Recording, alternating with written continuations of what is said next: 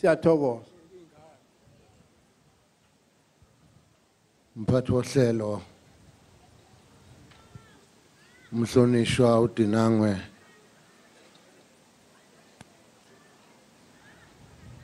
Ngibingelele kakhulu udlukulu wakwakhetha umthandayo ongumama kimina nodlukulu wakwaLinduzulu naye ongumama kimina nodlukulu wasondini naye ongumama kumina udlukulu kamafu. Nina besilo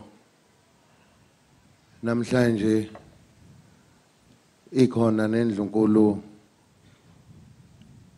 engabafowethu nedlukulu engodade wethu ngiyathokoza bomageba. Ukuba ngibe nani sizobambisana kulomsebenzi omkhulu kangaka kulolu suku lwanamhlanje.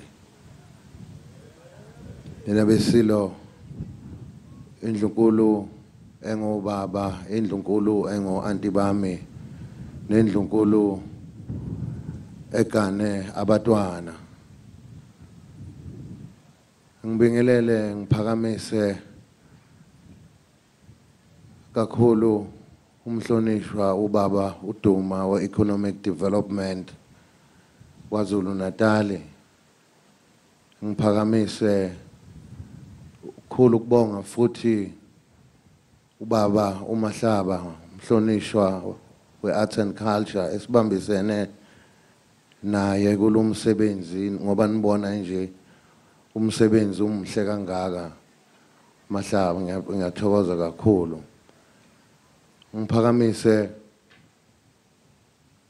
kakhulu amakhosi inkosi usithole emelele inkosi ushinga okuyena umphathi nesibambisene naye ohlezi phezulu esihlalweni samakhosi akwaZulu Natal ngokohlelo lika Khokta nina besilo namhlanje sinezivakashi ezikhona izivakashi eziphuma kuwo onke amagumbi omhlaba. Nazo ngiyazemukela ukuba zibe kanye nathi lapha namhlanje. Ngiphakamise okukhulu futhi ukubonga kuzimeya ezikhona amakhansela zinduna ezikhona. Ngiyazi ukuthi lo msebenzi ubungeke ube mhle kangaka ngaphandle kwenu ngokubambisana kwenu. Ngithokoza kakhulu ngalokho.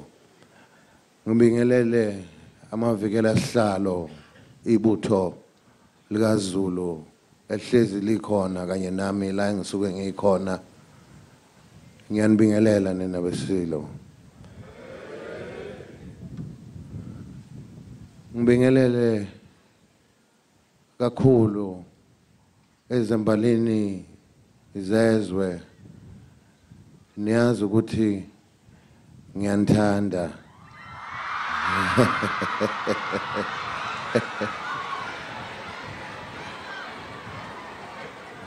Ngiyabonga.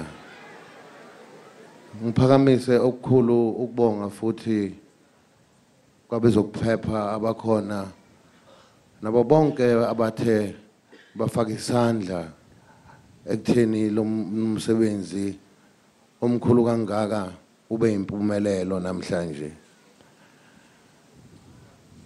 Namhlanje sithe sivuka Zulu. Savuka ngeindaba ezibhlungu kakhulu. Ukuthi undunankulu wesizwe undunankulu wami uNkulunkulu besemkhumbule wamthatha. Ngalokho ngeke ngaba nenguyazane nje encane nondunankulu wesifunda ngoba nibona nje undunankulu wesifunda umama uNomusa Dube. Ngoba nibona nje engekho phakathi kwethu ngoba naye uthe umethola lezi indaba kwamele konke akwenzayo akubeke eceleni ehambe eyewaphinda ngene ngoba nami bese ngithembele kuyena ukuthi useyongibonela ukuthi iy'nhlelo zimisa kanjani indlela eya phambili. Ngikhala kanye nani sizwe sikaZulu okusehlele namhlanje akusiyona into ejwayelekile. Ngikhala kanye nani ngikhalela isizwe. Umsebenzi umntwana awenzile ngingasasho umsebenzi wasedlukulu nje kuphela. Nokumele iqiniso kwaze kwaba kwaze kwaba kusegcineni sithe namhlanje uhlelo aluzukufana njengokujwayelekile ngoba ngokomthetho wesintu umthetho wesiZulu umthetho wasedlukulu mase kuze kwavela isimo esinzima kangaka akungabe sisakhulunywa phezu kwaso. Akungabe kusaba khona izinkulumo ukuhlonipha isimo esibhekene naso njengesizwe. Ngithokoza kakhulu babuduma mhlonishwa ukuthi nikubone kubaluleke kakhulu ngokuphuthuma ukuba niyobonana nomengameli ngalesi simo. Ngithokoza kakhulu. Nami ngizonibambisa la kumele ukuthi nginibambise khona. Nina besilo ukuhlonipha isimo somntwana sithe nondunankulu wesifunda umhlanga wakusasa kawuzukubabikho asidedele usuku lakusasa kube usuku lokuba sibuyele emakhaya ngokuhlonipha isimo esibhekene naso zulomnyama okusho ukuthi namhlanje siyawuvala umhlanga siyawuvala umhlanga sesiyoze siwubone ngonyaka ozayo. uNkulunkulu emhle mesigcinile sonke.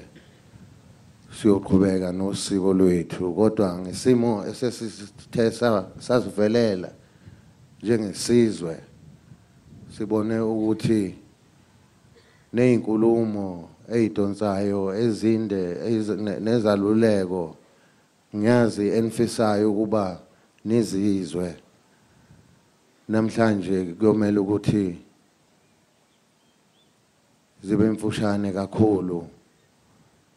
Zibe mfushane siletele intombi ukuba ziqhubeke zisine. Nisinisise-ke namhlanje usuku lokugcina.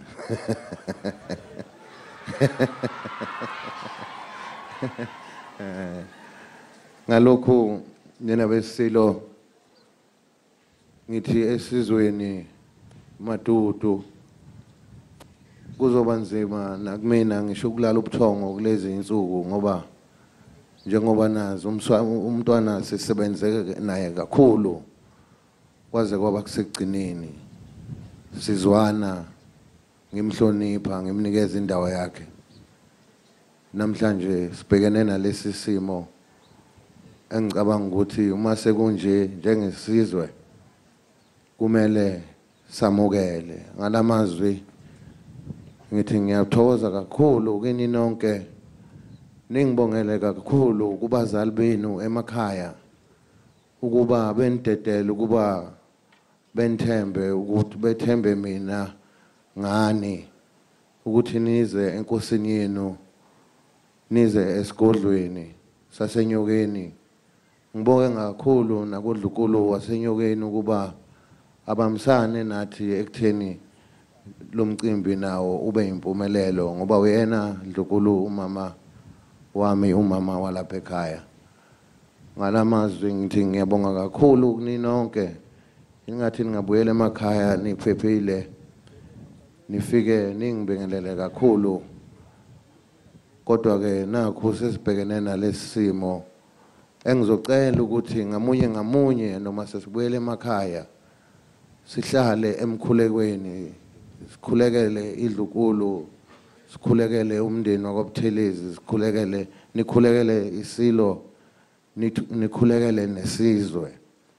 Ngoba miningi umntwana uhambe iseminingi imisebenzi yesizwe ebesa besaxoxisana naye ngayo.